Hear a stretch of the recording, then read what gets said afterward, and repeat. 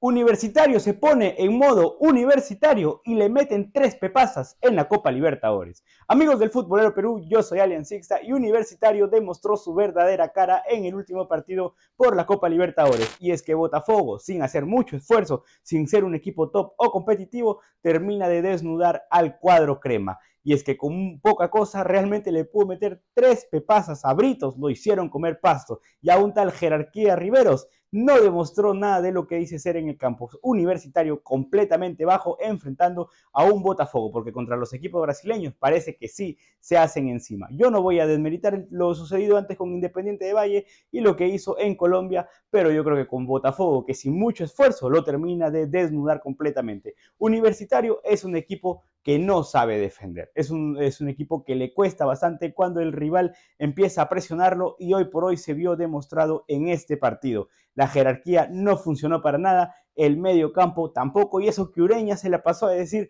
yo, yo escuché muy claro que en Copa Libertadores hay que salir a jugar, porque si empiezas a especular vas a perder completamente y eso es lo que hizo Universitario en su partido contra Botafogo. Especuló completamente, nunca se la creyeron y los equipos brasileños tienen esto, te matan. Finalmente no necesitan mucho esfuerzo para que hagan grandes cosas y por eso han sido eh, el país que más Copa Libertadores hoy por hoy tiene. Así que Brasil, los equipos brasileños son bastante de temer y ya lo sabe Universitario de Deportes que se le complica un poco la clasificación porque le vienen partidos muy pero muy complicados tras haber jugado eh, un partido de local y dos de visita. Vamos a ver cómo los, los partidos que le vienen. Recuerden que también tienen que tener rotación de jugadores porque se les viene el torneo local y si cojean Sporting Cristal se los va a pasar por encima y van a perder, se van a quedar sin soga y sin cabra a mitad de año cuando no solamente pierdan el torneo de apertura, sino que también se queden sin poder clasificarse en Copa Libertadores. Un equipo completamente bajo, un equipo que no hizo ni siquiera el mínimo esfuerzo para ganar y se nos viene criticando a nosotros